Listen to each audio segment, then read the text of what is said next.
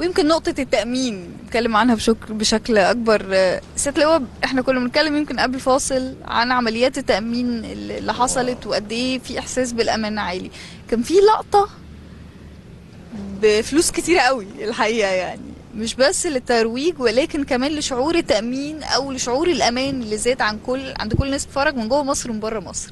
كانت زيارة الرئيس. آه طبعا. أنا في زيارة سيادته يعني أنا عرفت قبليها في وقت ما ينفعش أعمل أي حاجة غير إن أنا أروح أسلم عليه. هو يعني فاجئنا إن هو جه ومعاه آه. ضيف طبعا عزيز. طبعا الكلام. كويس. ودخل في منتهى السهولة. والناس برضو بعيد تاني الناس في منتهى الرقي إن هم عارفين إن معاه ضيف. آه. كويس والناس ملتزمة وبتسلم عليه من بعيد. الحب كان؟ مسيطر ولكن السلام كان من آه، بعيد كان من بعيد والناس بحب شديد جدا. كويس اتعاملوا مع الموقف و...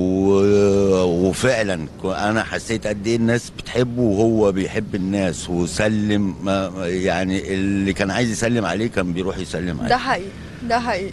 كويس فما. فيش أكتر من كده في أي دولة في العالم